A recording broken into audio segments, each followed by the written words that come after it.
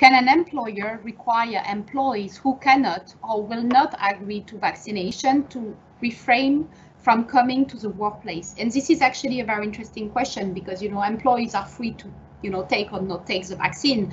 But ab what about, you know, ensuring the health and safety of the other employees working at the same workplace? There is no specific legal requirement or restrictions on this. So uh, I don't think that uh, an employer can uh, impose uh, anything like this. Okay.